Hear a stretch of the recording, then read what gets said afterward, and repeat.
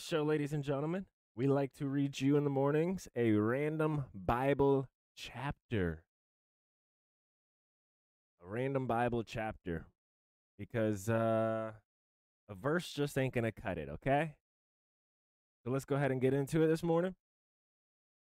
It goes a little like this three,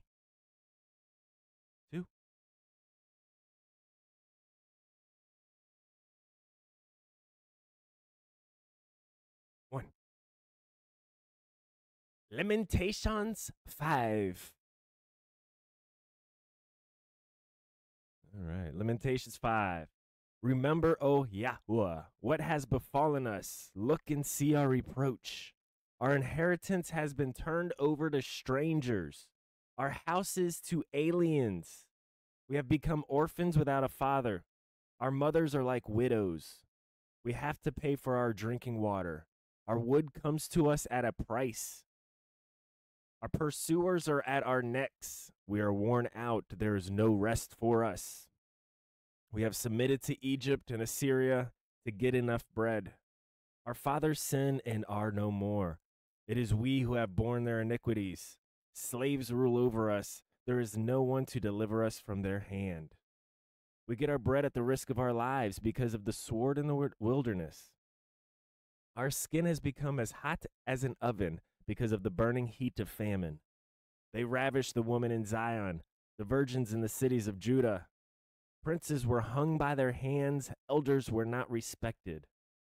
Young men worked at the grinding mill, and youths stumbled under loads of wood. Elders are gone from the gate, young men from their music. The joy of our hearts has ceased. Our dancing has be- been turned into mourning. The crown has fallen from our head. Woe to us, for we have sinned. Because of this, our heart is faint. Because of these things, our eyes are dim. Because of Mount Zion, which lies desolate, foxes prowl in it. You, O Yahweh, rule forever.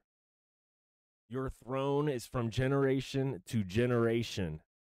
Why do you forget us forever? Why do you forsake us so long? Restore us to you, O Yahweh, that we may re- be, restored. Renew our days of old, as of old, unless you have utterly rejected us and are exceedingly angry with us. Oh man, he's he's surely lamenting here. Surely. The prayer for mercy. I like that. I like that. Well there there you go, ladies and gentlemen. That's the uh, random Bible chapter. Lamentations 5. Thank you guys.